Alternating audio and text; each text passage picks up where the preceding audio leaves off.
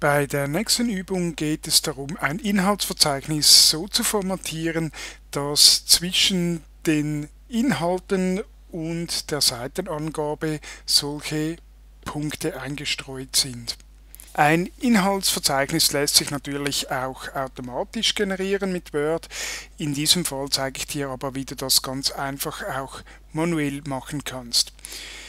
Ich überfahre dieses Inhaltsverzeichnis. Du siehst, es hat schon Tabulatorschläge drin, aber die Seitenzahlen sind noch nicht untereinander ausgerichtet, weil eben noch kein Tab-Stop im Lineal oben definiert wurde.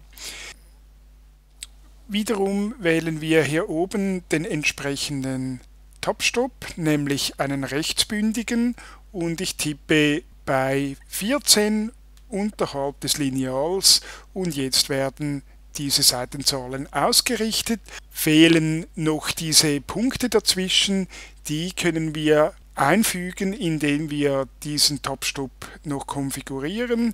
Mit einem Doppelklick auf das Top-Stop-Symbol erhältst du eine Liste mit allen enthaltenen Top-Stops. In diesem Fall natürlich nur einer. Ich wähle ihn aus und kann hier als Füllzeichen diese kleinen Punkte wählen.